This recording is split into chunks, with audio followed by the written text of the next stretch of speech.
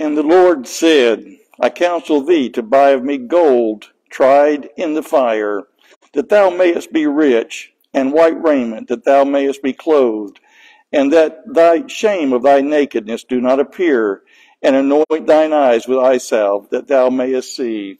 Such important words that we buy of that gold that is tried in the fire, the Word of God, and that we properly invest it.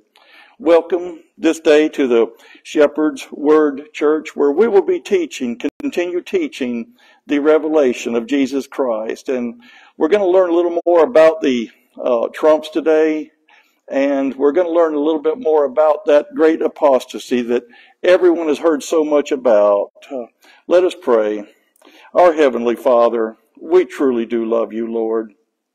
We thank you, Father, that you have loved us so much and you have shown your love to us and that you have laid down your life for us to take away the sins of the world and redeem us back to you that we may be with you in eternity, one big family again, Lord. We thank you for that, Father. Lord, we thank you that you have sent us this word, this beautiful letter of love that we call the Bible, the Word of God. Father, we thank you that so many have written in and, and asked for prayers that shown us their needs and, and we've gathered together and prayed for them. And Lord you know their needs. You know where they are Father. We ask that you bless each and every one. And Lord I, I lift up somebody very special Lord. You know the prayer that that I have prayed and that we're what we're thinking we need an answer Lord. We ask for your healing your help Father. And Lord I thank you for those that have invested wisely this gold tried in the fire, that they have shared, they have invested and shared with others, shown their love for others in the world by, by sharing these truths that you have given us. We thank you, Father, for all these things. And Lord, I ask that you be with me as, as we work our way through these words, that your Holy Spirit would wrap around mine and bring all things to my remembrance and lead me and guide me and direct me, Lord. Not my words, but your words, Father. Thank you, Lord, in Jesus' precious name. Amen. So before we uh, begin back in Revelation, and we're going to get uh, into Revelation chapter 9, but I, I wanted to go to the book of Ezekiel, and because we, we see so much about the one third of the people and another third of the people. And you know, we saw even in Revelation chapter 12 where Satan by his, by his tail or by his followers, he drew one third of God's children with him, deceived them and, and, and led them away from our heavenly father. And I want to go back to a time, it's, it's historical, but that history, as Paul said, those things that happened in what we call the Old Testament, that they were history to us, but they're actually prophecies of things we would see in the last days.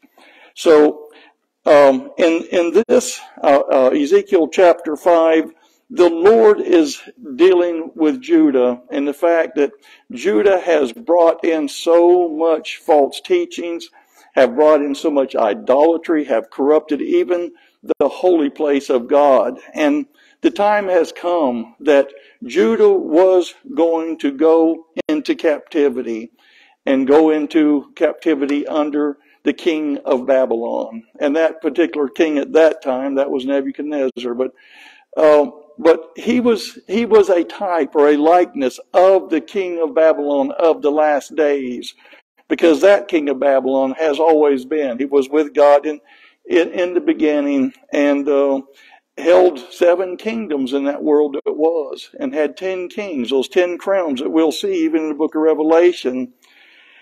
And we see that those, those one third and one third and one third, how they're broken up.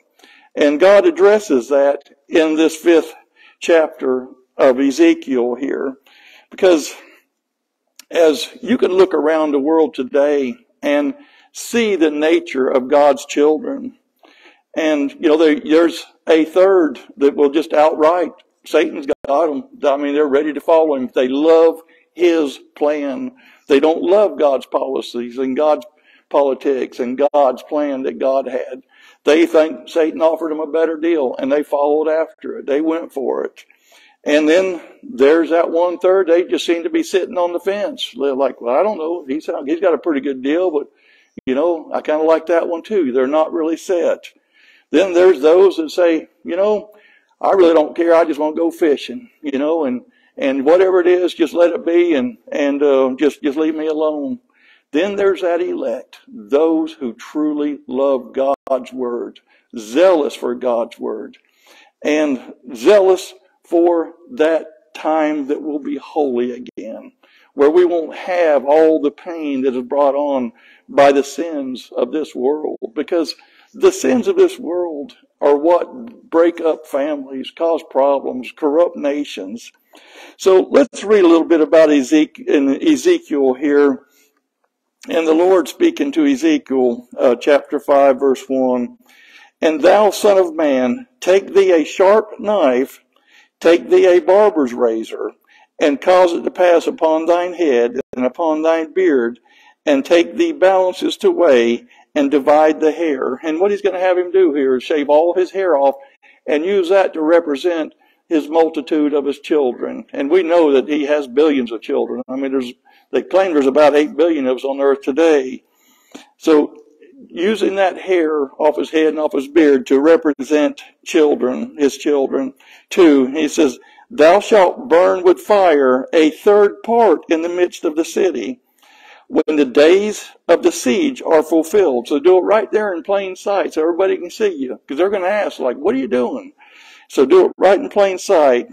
And thou shalt take a third part and smite about it with a knife, and a third part Thou shalt scatter in the wind, and I will draw out a sword after them. So we're going to see all these same likenesses as we in Revelation. As I said, this history becomes our prophecy in the last days. Three, thou shalt take thereof a few in number and bind them in thy skirts. There's God's elect. And it's very few. There's not many. Just a few. Just considering how many children on earth, there's not many. Then take of them again, so they're, they're bound up and kept safe in his, in his skirt for a time to come. Thou shalt take thereof a few in number and bind them in thy skirts. Four, then take them again and cast them into the midst of the fire and burn them into fire, for thereof shall a fire come forth into all the house of Israel. So even God's elect will walk through that time of tribulation, that fire that will test them, prove them like fine gold. So it won't bring harm, but it will test them. You know, the word tribulation, many times there's, there's not, not the same word is always used, but there's one word that's translated as tribulation, and it means to put it to the touchstone. In other words, you take a knife and you sharpen it to the touchstone and you test it. What will it cut? It'll cut paper. It'll cut wood. And you put it back to the touchstone. And that's tribulation, testing that thing.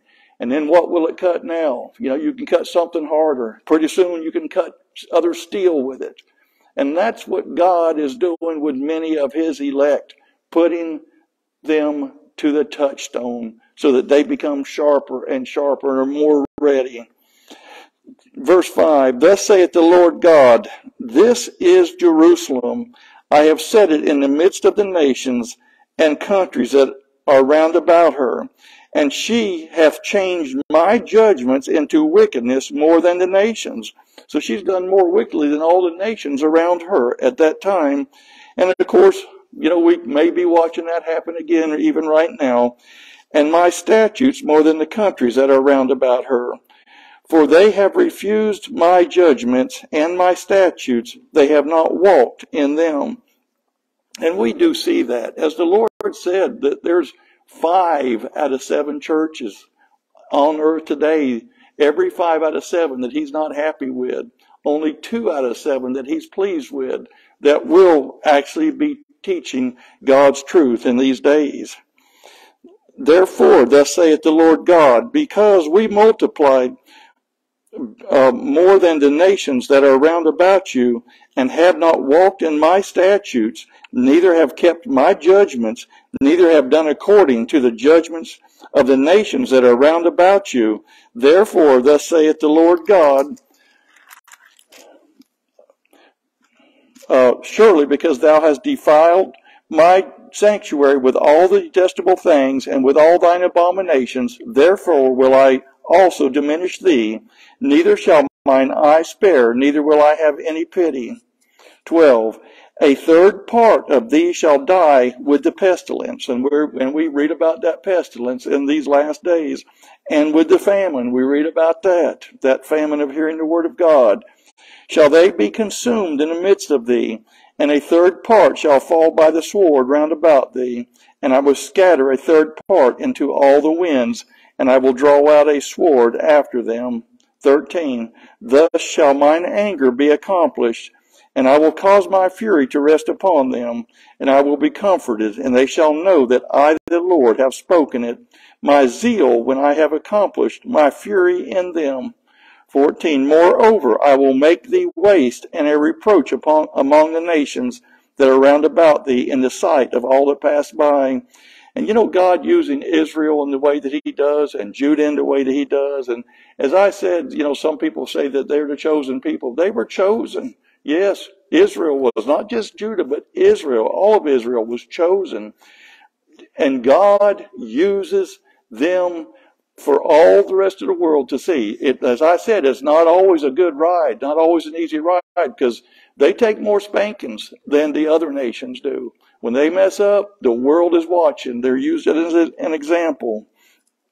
In 15, so it shall be a reproach and a taunt, an instruction and in astonishment unto the nations that are round about thee. All the nations are watching.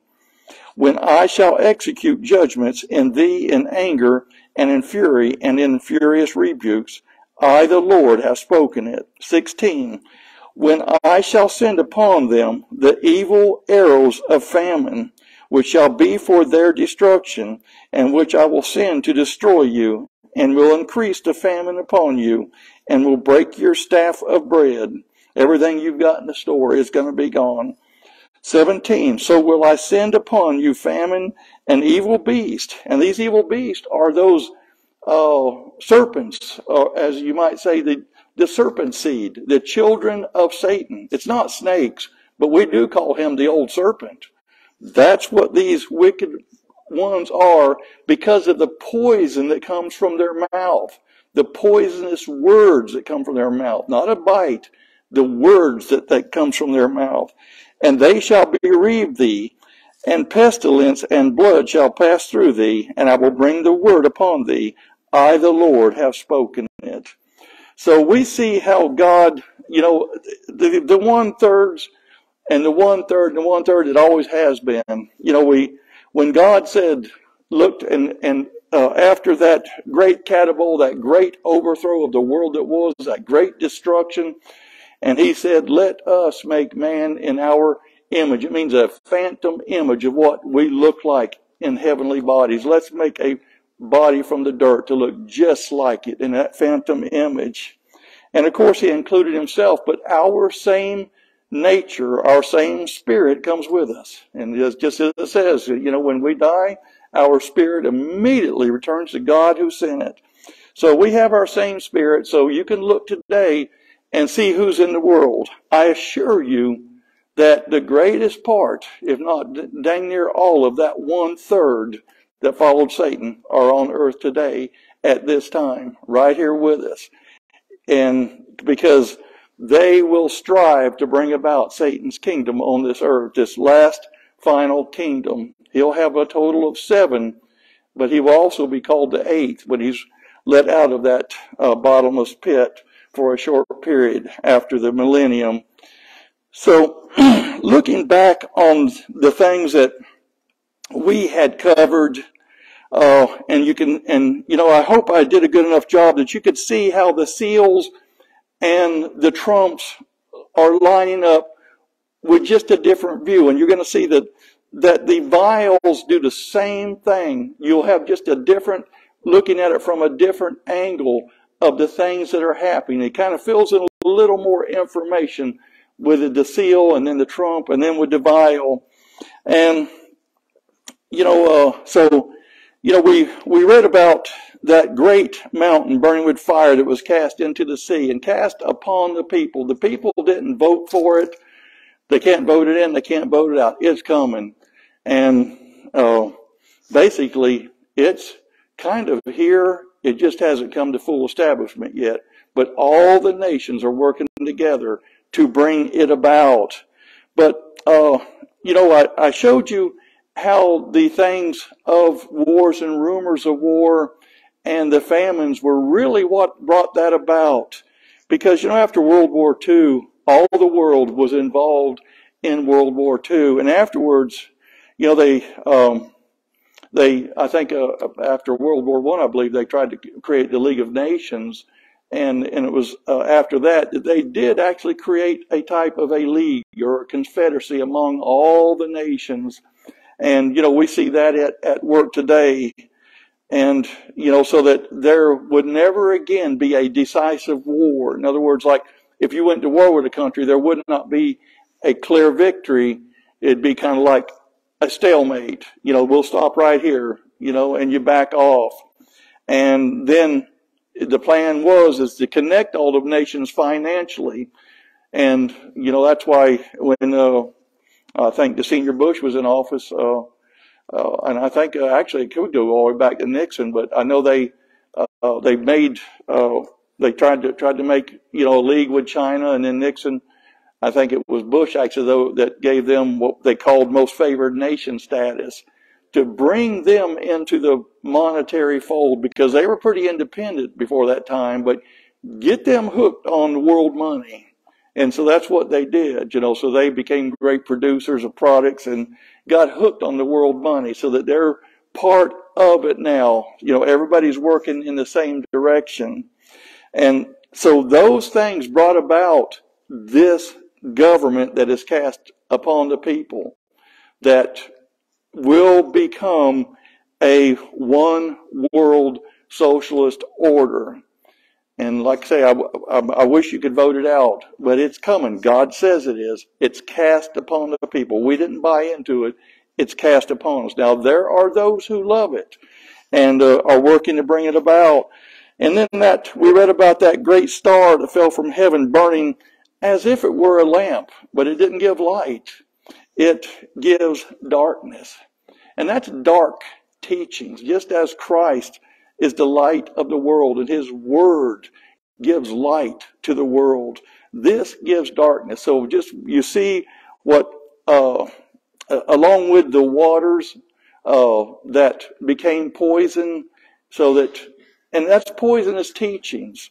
So all of this coming through the schools, the colleges, and even the churches. These poisonous teachings coming through all directions. And so they're, they are all interconnected, these trumps, these seals, to, and these vials to bring all this about. So there's no turning it around.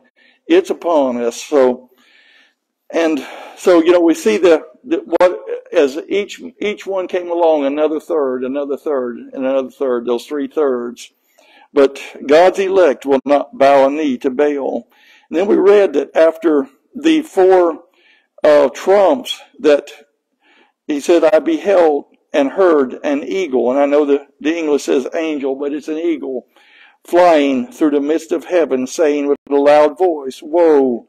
Woe, woe. And you can imagine that trill of the eagle out over the wilderness screaming out to the world that woe upon those. It says, woe, woe, woe, those last three times, five, six, and seven, to the inhabitants of the earth by reason of the other voices of the trumpet and of the three angels which are yet to sound. And we did read through chapter 9 and a few verses, but I'm going to go through it again. And uh, because I want you to understand, you know, and God's represented many times, He represents Himself as that eagle, you know, giving us that warning, that shrill warning going out to to the, the world, to the wilderness. So let's, let's look back over uh, chapter 9 and right on through. And the fifth angel sounded, and I saw a star fall from heaven unto the earth. And that means I saw one that had fallen. And as we went and we looked into the book of Luke and also in the book of Isaiah, that that's Satan. He is the one, that angel that was fallen. So it's not like I'm watching him falling right here. He said he had fallen. I saw that one that was fallen. And to him was given the key of that bottomless pit, too. And he opened the bottomless pit. There rose smoke out of the pit as the smoke of a great furnace, and the sun and the air were darkened by reason of the smoke of the pit.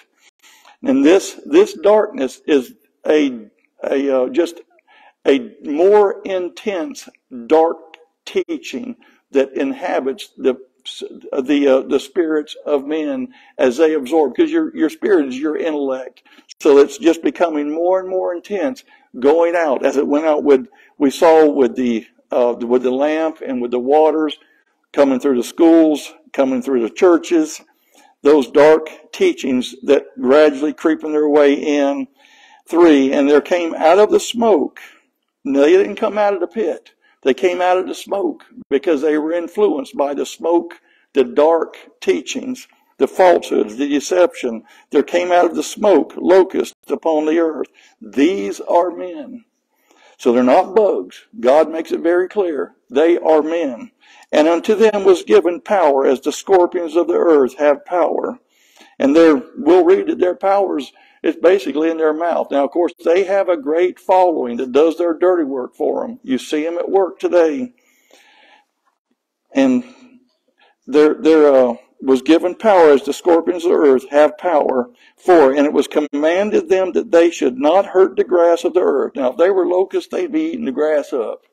But they're not locusts, they're men. Neither any green thing, neither any tree, but only those men which have not the seal of God in their foreheads. And as I had said, that they can't touch us because we know better. It's those that buy into the lie that have to worry. If you have the word of God sealed in your forehead, they can't touch you. And five, and it was, and to them it was given that they should not kill them, but they should be tormented five months and their torment was as the torment of a scorpion when he striketh a man. And with all their words and their actions, there's no actual sting going on. It's the things that people are hearing that is melting their backbones. They will not stand up against it. And I mean, I mean, you talk to people today, you know, they say, you're like, yeah, well, if they do this again, we're going to do something about it next time. Well, what about the last time? You know, you never, you didn't do anything. You're not doing anything now. The sting of the scorpion. Your backbone has been melted. Six, and in those days shall men seek death and shall not find it and shall desire to die and death shall flee from them. And as I said, this comes, is in those same days, but this is at the end of those days when those who have gone, they did not have this love letter from God. They had a lot of preaching. They heard a lot of great sermons. They did not have the Word of God sealed in their forehead. And so when the false one came, I mean, he's coming. He's a looker and he's coming with power.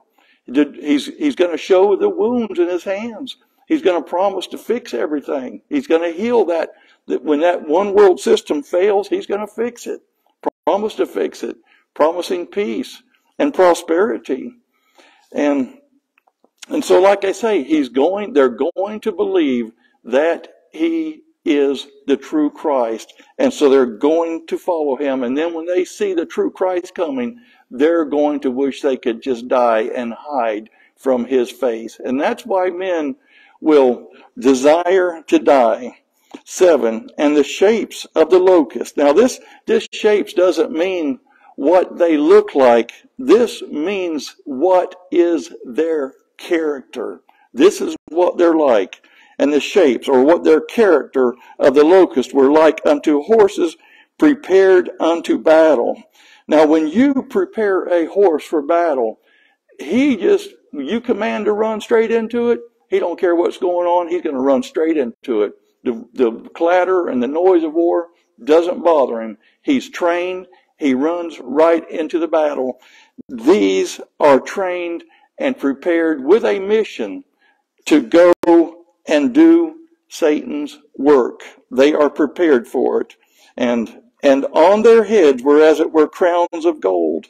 And so pretending to be even of the tribe of Judah, pretending to be princes, but they're not. As Christ said, beware of those who claim to be Jews, but they're not. They are of the synagogue of Satan. Beware of them. Two churches are aware of it. The rest of them are not. The rest of the churches will believe that these are the true lineage of Judah. And even the one that claims to be the lion of the tribe of Judah, they will worship him. Five out, five out of seven churches will, is what the Lord shows us. And eight, and, and again, as they had hair as the hair of women, and their teeth were as the teeth of lions.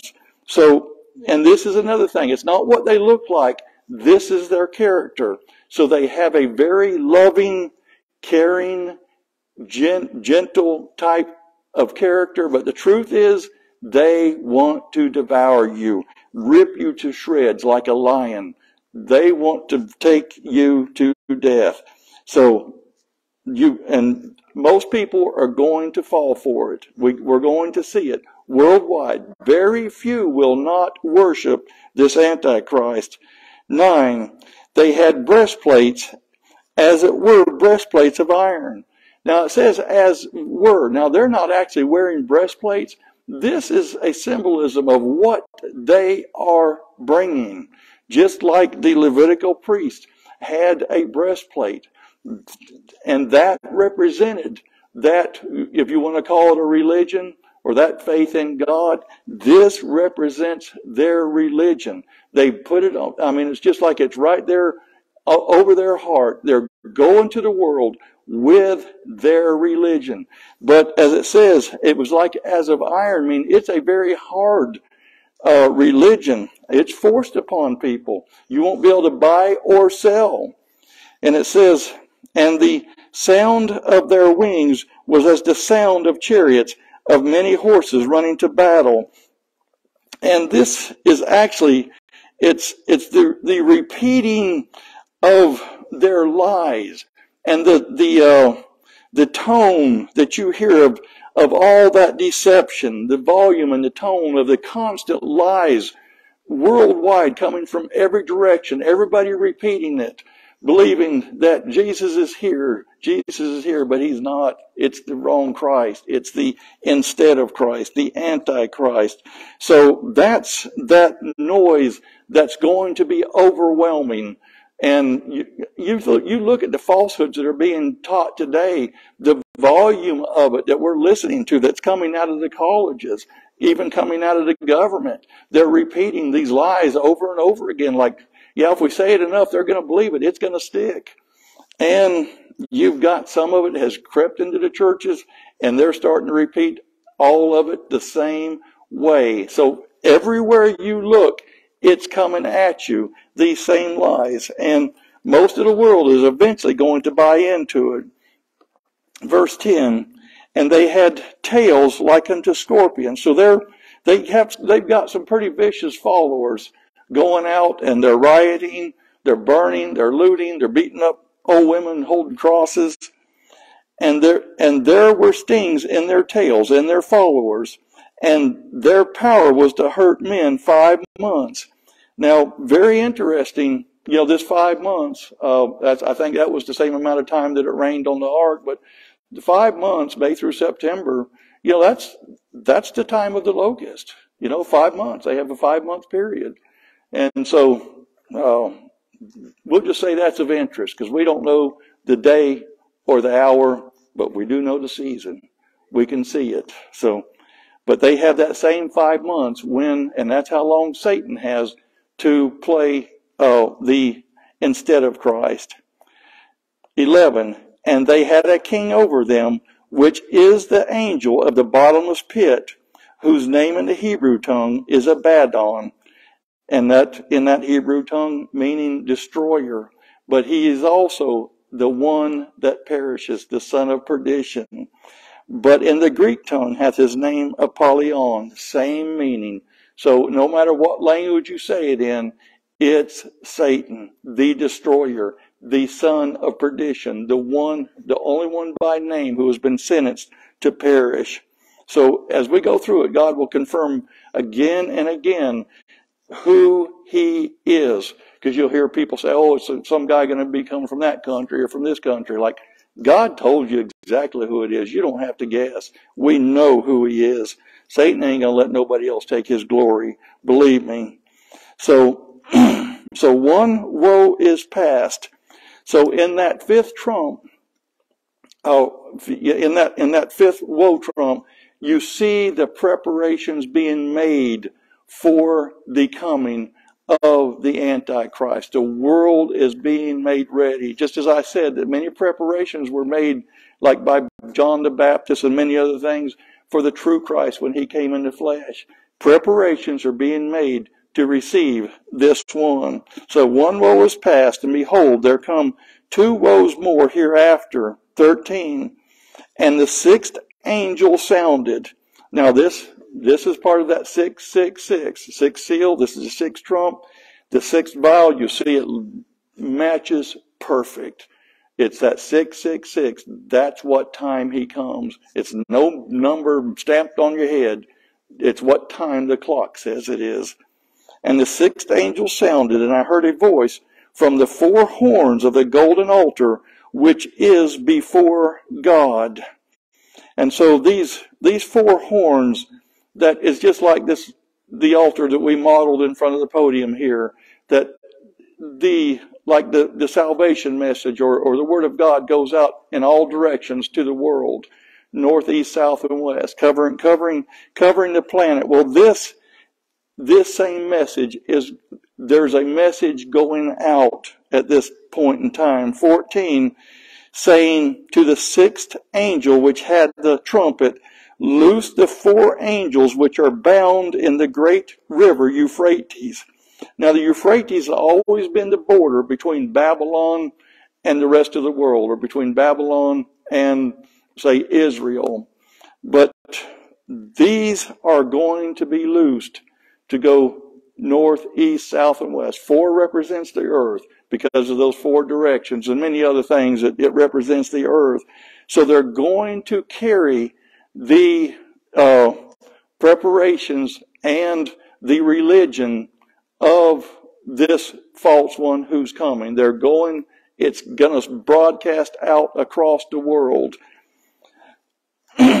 15, and the four angels were loosed, which were prepared for an hour and a day and a month and a year for to slay the third part of men. So that means that they were prepared for a precise instant in time. God knows exactly when that instant is, but that's exactly what that's saying. An hour, a day, a month, and a year, that precise instant. 16. And the number of the army of the horsemen were 200,000 thousand. I heard the number of them. Now, uh, this in the Greek, it's a, uh, if I can pronounce it right, myrid, is that right, Sherry? Myrid? Uh, it's myrid, myrid. Now, in the ancient Greek, it doesn't mean any certain number. It means an indistinguishable or uncountable number. And that's what this is. I mean, there's so many that you can't count them. But uh, this is the great apostasy, is what this is. That God says the whole world will whore after this false one.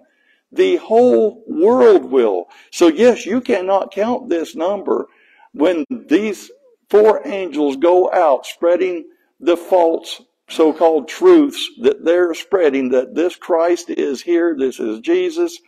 Uh, the whole world will be celebrating. An uncountable number is right on team with him.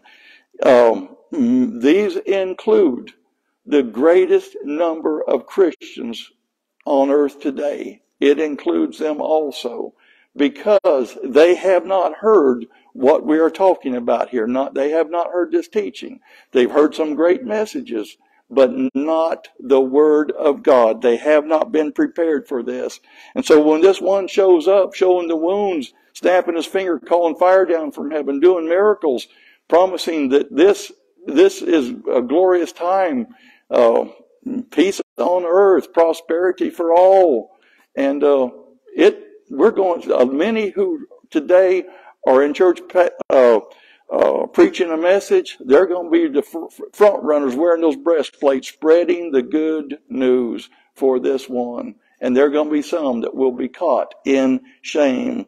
17. And thus I saw the horses in the vision, and them that sat on them, having breastplates of fire and of jacinth and of brimstone.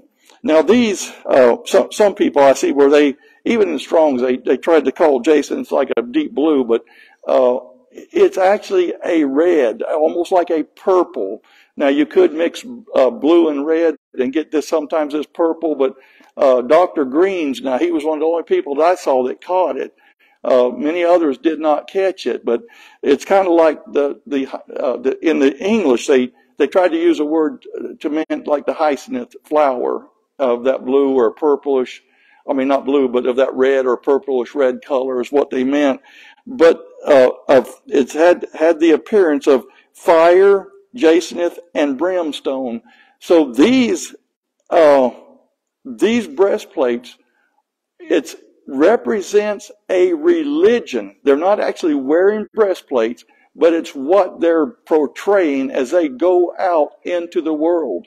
And this image represents hell's fire, is what it represents. So they are teaching a religion that leads right to the lake of fire.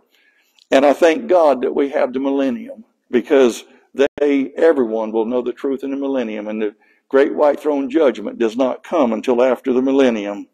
So, uh, and the heads of the horses were as the heads of lions and out of their mouths issued fire and smoke and brimstone.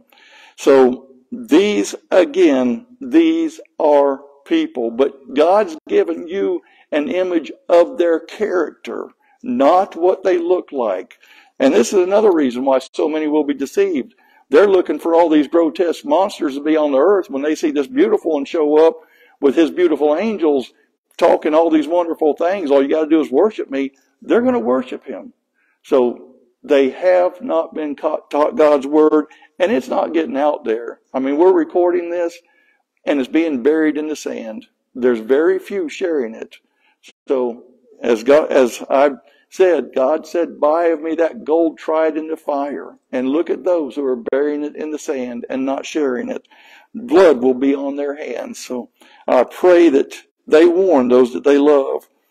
And so, you know, it says that this fire and smoke and brimstone comes out of their mouth. What comes out of your mouth? Words. So uh, fire that will devour your faith, the words that will devour your faith, smoke that will blind you to the truth. All you can see are the smoky words that they're, that they're preaching. You can't even see the word of God. Of course, many of these never looked anyway. And this brimstone leading them to ultimate death. Spiritually dead is what this brings them to. 18. By these three was the third part of men killed, by the fire and by the smoke and by the brimstone which issued out of their mouths. Those words that issued out of their mouths, those words of deceptions and lies that you hear every place you go today. Like I said, the schools, the churches, the government, you're hearing these words of deception. 19, for their power is in their mouth. That's where it is. Their words, their power is in their mouth, their words, and in their tails, and all those followers that they have, just like Satan brought a third of God's children with the tail, the followers that follow after them. For, for their tails were like unto serpents and had heads, and with them they do hurt.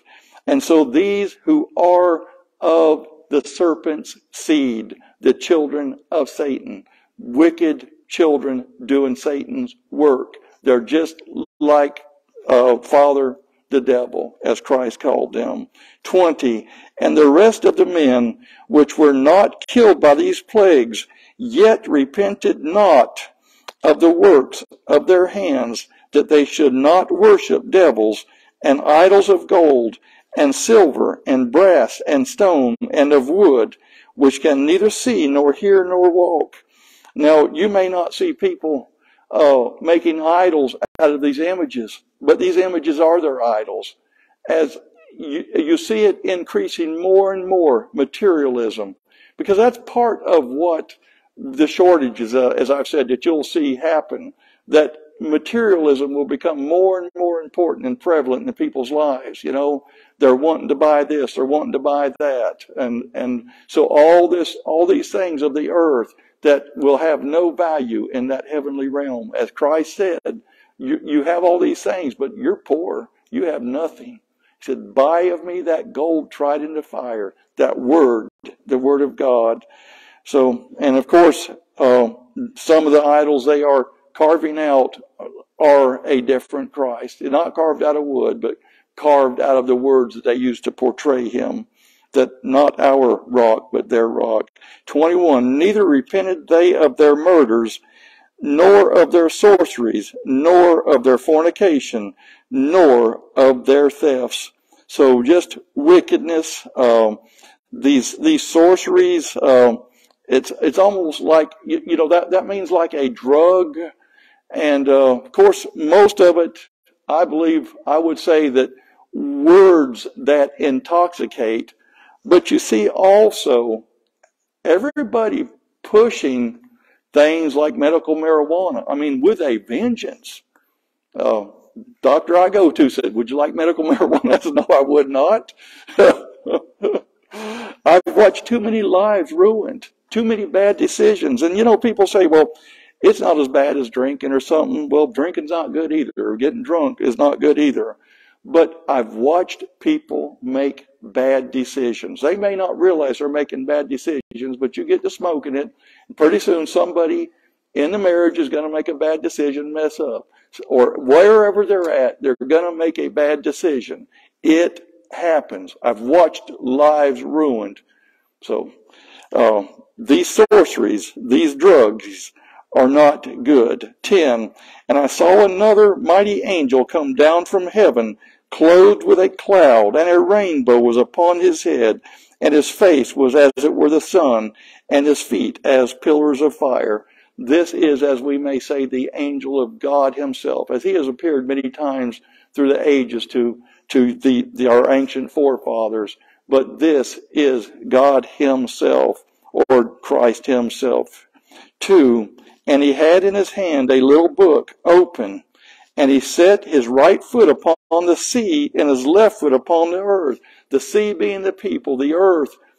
And he's showing absolute power, dominion, King of King, Lord of Lords. So with all these things we see happening with the four angels being loosed from the Euphrates or that border of Babylon, so that Babel the confusion could spread across the planet. And that's what they're doing. They're, they're spreading Babel across the planet. And these with those imaginary breastplates, spreading that false religion. You see all these things happen. The Lord is good enough to say, I'm still in charge, King of King and Lord of Lords. Three, and cried with a loud voice as when a lion roareth. And, and what a roar that must be to hear his voice. And when he had cried, seven thunders uttered their voices.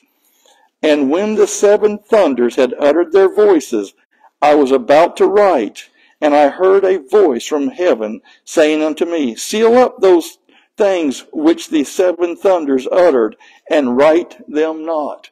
And but they are written. Christ said, I have foretold you all things. It's written. Haven't you read it? So this, what was uttered, is part of the message that he is giving here when he's planted his foot on the sea and upon the earth, that he is in full power and control. So, and, you know, I've told you before that the voice of God is described as thunder. Because, and you, you know, you can read many times when God spoke to somebody, just like to Paul Those around him thought they heard thunder, but Paul heard the voice in the Hebrew language. But let's go to Psalm 29 and let's read about these seven thunders.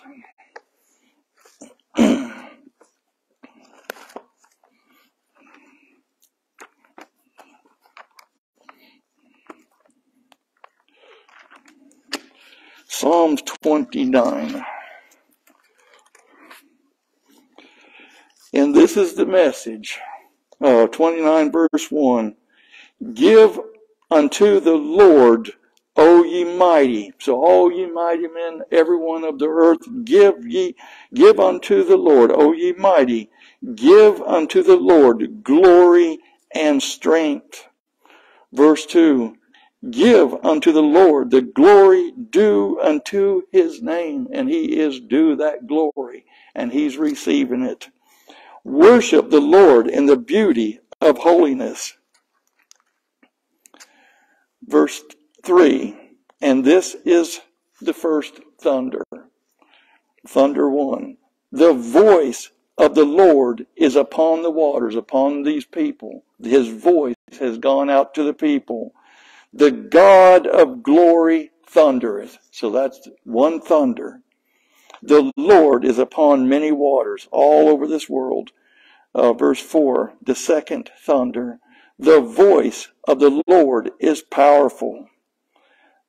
The, and the third, the voice of the Lord is full of majesty. Verse 5, and the fourth thunder the voice of the Lord breaketh the cedars. And that means those uh, mighty men, like they're portrayed as like mighty kings of the earth. And so the voice of the Lord, he can, he can tear them down anytime he wants. Yea, the Lord breaketh the cedars of Lebanon. So those kings of the earth. Six, he maketh them also to skip like a calf, Lebanon and Sirion, like a young unicorn. A unicorn means a like a wild ox. So, uh, in other words, he can he can knock down, tear down, and destroy the most mighty, but he can raise up the most tender and young ones upon the earth. Five, uh, uh, verse seven, the the fifth thunder. The voice of the Lord divideth the flames of fire. In other words, lightning coming down upon the earth. He is in full control. He can do as he pleases with, even with lightning. Verse 8, the sixth thunder. The voice of the Lord shaketh the wilderness. The Lord shaketh the wilderness of Kadesh. So he can, he can destroy and make a wilderness out of a great, out of a great forest with just with his voice, with that thunder. Verse 9, the seventh thunder. The voice of the Lord maketh the hinds to calve and discovereth the forest. So bringing life. He can destroy wickedness and he can bring life. And in his temple doth everyone speak of his glory. So that's what we're looking at in this, in this chapter in Revelation. Everyone speaking of his glory. 10. The Lord sitteth upon the flood, and all the peoples of the earth. Yea, the Lord sitteth king forever. The Lord will give strength unto his people. The Lord will bless his people with peace. So let's go back uh, to Revelation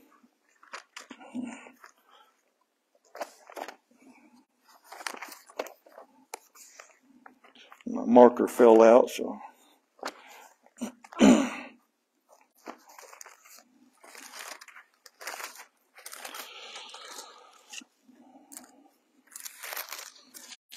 So, as we read, and when the seven thunders had uttered their voices, I was about to write, and heard a voice from heaven saying unto me, Seal up those things which the seven thunders uttered, and write them not, but they are written.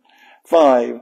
And the angel which I saw stand upon the sea and upon the earth lifted up his hand to heaven, and sware by him that liveth for ever and ever, who created heaven and the things that therein are, and the earth and the things that therein are, and the sea and the things which are therein, that there should be time no longer. So when the sixth trump is finished, when the seventh comes, that's it. It's over.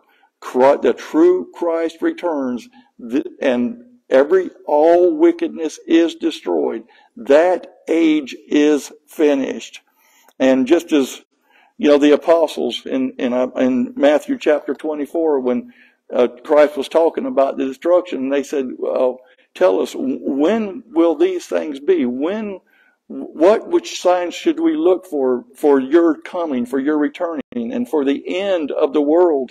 And he went on to describe all of these all of these seals and trumps. So we know exactly when they happen and as i had said that you know many people say oh that happened a thousand years ago no christ said it happens just prior to his coming just prior to the end of the world so and he can swear by no higher source or than himself 7. But in the days of the voice of the seventh angel, when he shall begin to sound, the mystery of God should be finished, as he hath declared to his servants the prophets. And the voice which I heard from heaven spake unto me again, and said, Go and take the little book which is open in the hand of the angel which standeth upon the sea and upon the earth. 9. And I went unto the angel and said unto him, Give me the little book. And he said unto me, Take it and eat it up, and it shall make thy belly bitter, but it shall be in thy mouth sweet as honey. Now this is just as Christ had, had told us that, you know, you must eat his body. He is that bread of life that came from heaven. What is his body? The Word of God. He said, Those that do will become one with me, and I one with them. So by consuming this whole little book, that's how we become one with Christ through His Word. And yes, as we read this, it's just as sweet as honey in our mouth.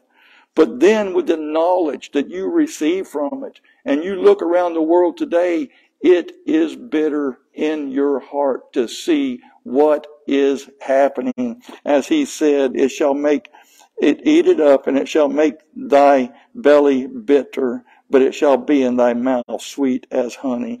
And it is. 10. And I took the little book out of the angel's hand and ate it up, and it was in my mouth sweet as honey. And as soon as I had eaten it, my belly was bitter.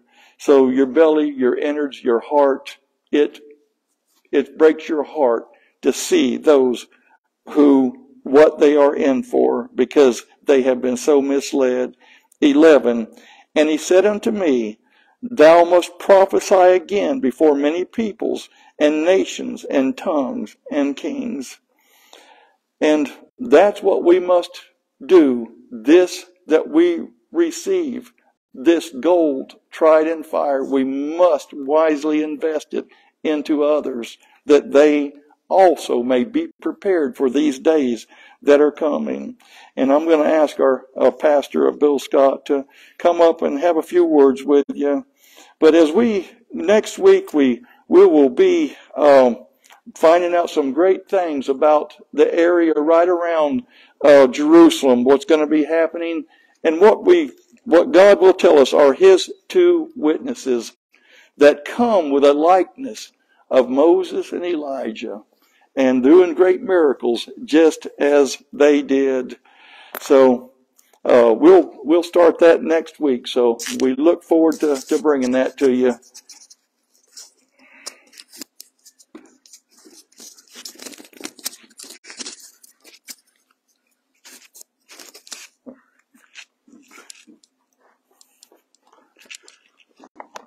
Good morning, beloved.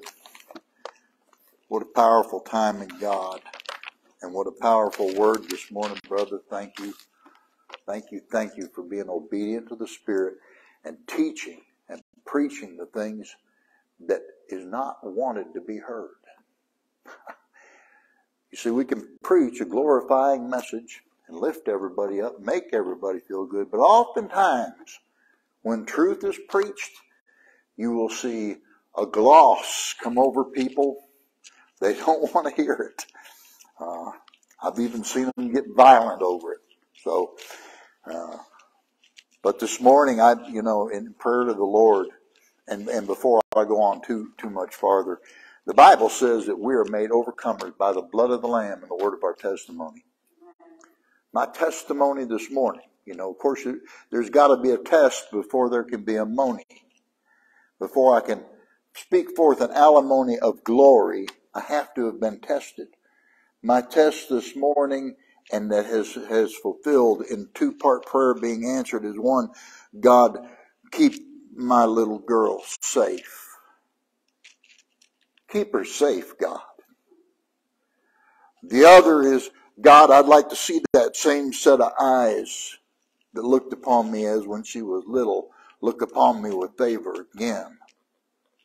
And this morning she walked up into this church house to share this service with her daddy and, and, and her mama, and, and uh, I couldn't be more blessed. The word of my testimony. Amen. Hallelujah. Glory to God. And my little grandson's here with me too, and he never seen Pappy behind the pulpit, have you? well, it is indeed a day where we should be focusing on the Word of God. As, as Brother has said, this whole Word right here is my everything and uh, to to eat it and to become one with God is to become one with His Word. Let it fill you full daily, daily.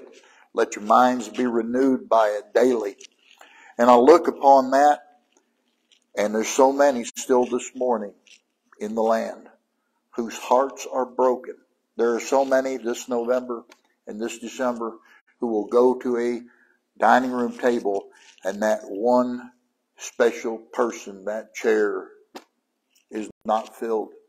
Some families to this day who are even still setting that plate for them.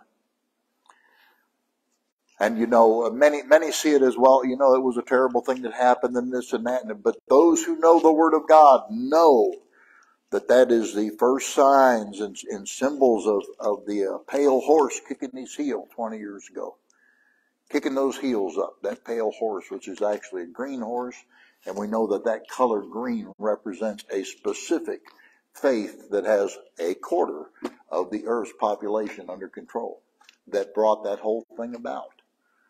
And so the fruit of the pale horse is like what we saw 20 years ago.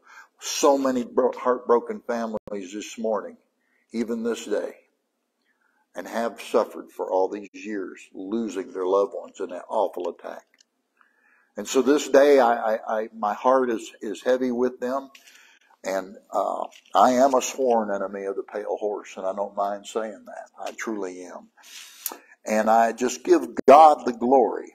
I give God the praise and lift up those families and all of us who are indeed living in, in the last days, and we need the grace of Christ. This morning is, is more so than ever before, my heart goes out to those who don't have Jesus Christ as their Lord and Savior. And I would say to you, you can come to Him. You can, all those who are out there in the viewing audience that are listening to my voice, you can come to Jesus. Repent of your sin. That means to go the opposite direction and go back toward God because you were going away from. Go toward God. Repent for your sin. In your heart, ask Jesus in. Just go to the Lord with me now in prayer if you would. Lord Jesus God, I just ask that you would come in to the hearts of those calling upon you today, Father, that you would be first and prominent in our life, Lord. Lord God, that all that call upon your name today, Lord, that the same be saved. Lord Jesus, forgive me of my sin. Be my Lord and Savior. And please dwell within the ministry of my soul and my heart. In Jesus' mighty name, amen and amen and amen. Hallelujah. And so with the words that I like to normally leave the service with, uh, from Numbers chapter 6, verse 24, the Lord bless thee and keep thee. The Lord make his face shine upon thee and be gracious unto thee. The Lord lift up his countenance upon thee and give thee peace. Beloved, we will see you again on Wednesday night. In the meantime, stay good in God.